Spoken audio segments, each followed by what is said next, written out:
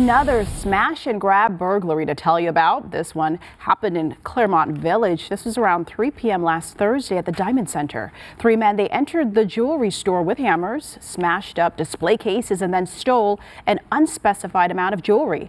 The men, the suspects, uh, then jumped into an awaiting car that was parked out front. A newer modeled white four-door Hyundai Elantra then sped away from the scene. Police have been reviewing surveillance video and the investigation right now still ongoing. And the search